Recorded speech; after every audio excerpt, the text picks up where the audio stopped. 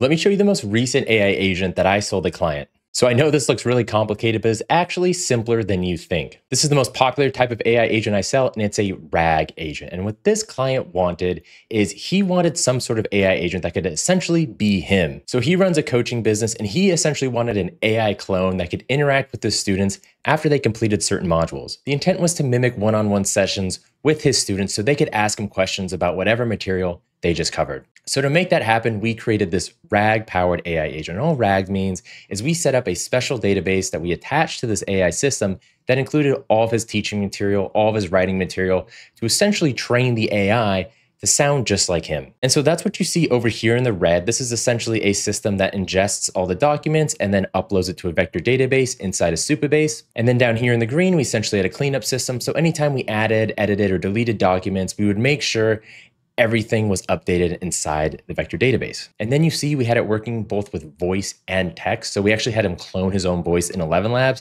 So the students could actually have an audio conversation with him that sounded just like him. Now, in terms of tools, again, very simple. We just have the brain, the chat model, memory, and then Supabase. So anytime a question is asked of the agent, it goes into Supabase, it goes in that database, finds the appropriate documentation, and responds accordingly. And that agent I created for the client is actually just a derivative of my own personal assistant AI agent Friday, which you can see has a similar setup, but way more tools. Now, if you want to get your hands on this AI agent, the one I personally use, just go ahead, follow the link in my bio, and you can get the template for free.